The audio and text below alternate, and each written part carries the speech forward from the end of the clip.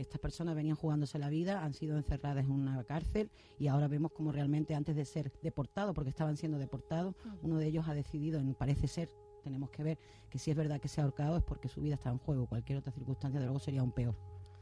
Sí, es una pena porque vienen con una idea en la cabeza, creyendo que, que vienen a un nuevo mundo y, y, cuando ya se dan cuenta que sus expectativas no son las que ellos esperaban.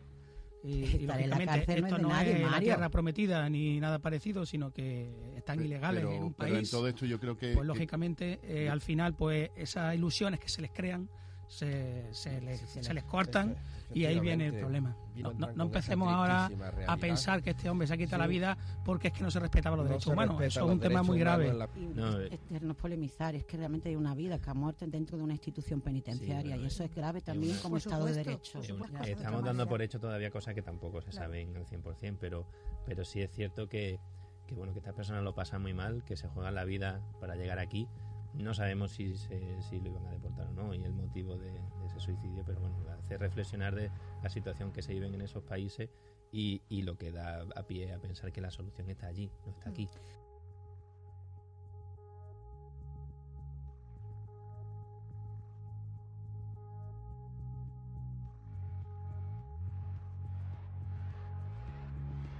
Bueno, pues nosotros evidentemente desde el Consejo de Ministros hemos solicitado que este ingreso sea con carácter permanente y que a la mayor brevedad se pongan a disposición y estas personas tengan un alojamiento adecuado y se reubiquen en una zona adecuada para ello. La solución de la inmigración mundial no es abrir la puerta de los países.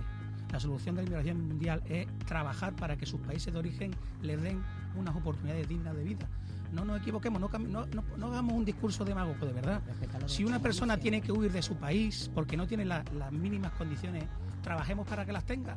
Pero la solución no es abrir las puertas de todas las fronteras de todos los países del mundo, no lo es.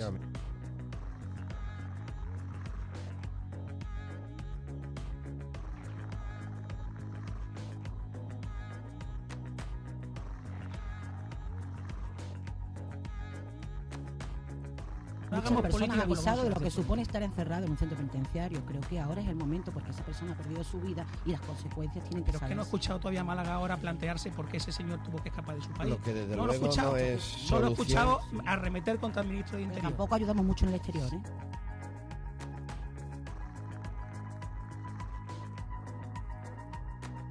El aumento de la llegada de personas migrantes procedentes del norte de África, lejos de detenerse, eh, seguirá en aumento debido a las condiciones de vida que, están teniendo las personas en sus países de origen, eh, de hambruna, de, guerras e incluso de mucha represión política.